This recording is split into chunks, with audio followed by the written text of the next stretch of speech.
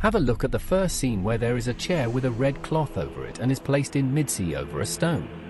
Here the Kratos arrives, let's see what he says. You are certain you remember nothing of this place? Oh, nothing that would help us. That's Mimir. Master thyself. There is a door above which something is written, so only one person can read that, you know who he is. Of course Atreus. So Kratos might meet Atreus in this DLC. Also there is a statue of Valkyrie above, so we will meet many new Valkyries during gameplay. As soon as Kratos enters the gate, it looks like he is pulled into the light. In this scene, Kratos is walking towards a golden chest.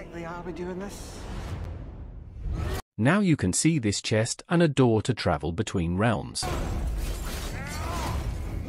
Now look at these flying stones, it means there is no gravity, let me know in comments if you know this realm. We must face this.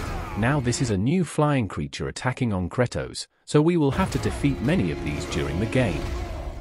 Now the Kratos suddenly wakes up like he was dreaming something bad. Let's go again.